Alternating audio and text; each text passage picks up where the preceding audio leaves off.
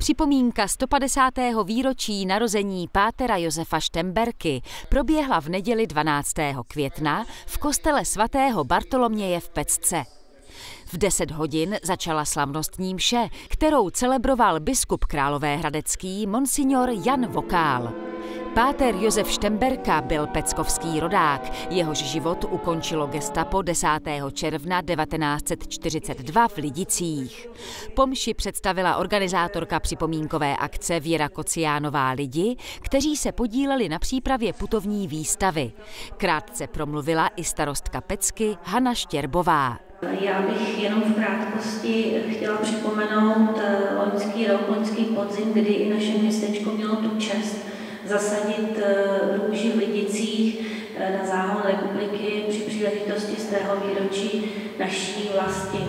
A protože Lidice a Pecka vlastně pomyslně jsou spojené právě díky páteru Josefu Štemberkovi, tak my jsme se rozhodli, že bychom i jako symbol toho přátelství a symbol eh, vlastenectví eh, chtěli eh, zasadit, ne záhon ale chtěli bychom zasadit růže, lidské růže i tady před kostelem, který vlastně je takovým symbolem a jsme rádi, že můžeme oslavovat takového člověka, jako byl Páter Josef Štemberka.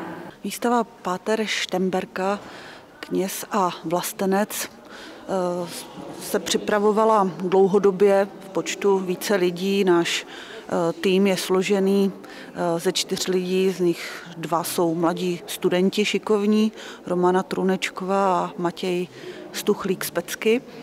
No a pracovali jsme na ní několik měsíců, vlastně už od ledna. Takovým základem bylo obět všechny možné archivy v Kladně, v památníku Lidice, v Hradci Králové, v Jíčíně a zjistit, co možná nejvíce o Páteru Štemberkovi, to znamená spíše eh, to ověřit, protože naším cílem bylo eh, výstavu pojmout eh, z určitého pohledu kriticky, tudíž rozplést různé mýty, které se o něm tradují a uvést tam pouze to, co si myslíme, že jsou ta fakta, která tvořila jeho život. Výstava je pojatá jako putovní, takže tady v Pecce bychom ji rádi měli do konce května a možná i začátkem června, ale od 10. června bude přenesena do Hradce Králové na pivovarském náměstí u krajského úřadu. Tam tedy bude pokračovat až do poloviny června. Pak si dá takovou pauzu přes prázdniny a od 19.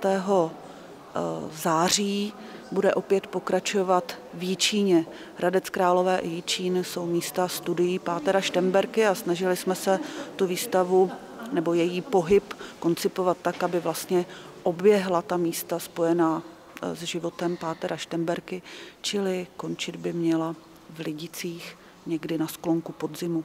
Výstava, která je umístěná v kostele, bude v následujících dnech přesunuta do venkovních prostor před kostel. Tam došlo i k zasazení lidické růže.